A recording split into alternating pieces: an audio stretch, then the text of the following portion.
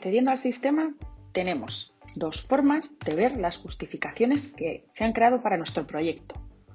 Una es desde Grants, accediendo al tablero, podemos ver por bloques las justificaciones científicas, económicas y divulgativas. Otra, otra opción es accediendo al proyecto, en sus pestañas correspondientes las podemos encontrar.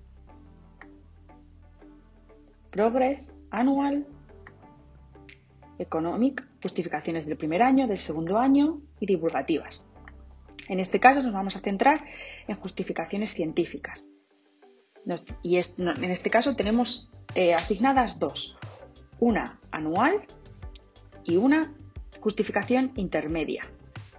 Podríamos hacer lo mismo desde la pestaña de Grants en Draft. Y en este caso vamos a justificar la intermedia.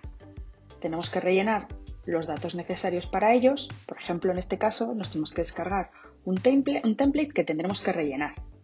Una vez rellenos todos los campos, daríamos a presentar y tendríamos nuestra justificación dentro de la caja presentado.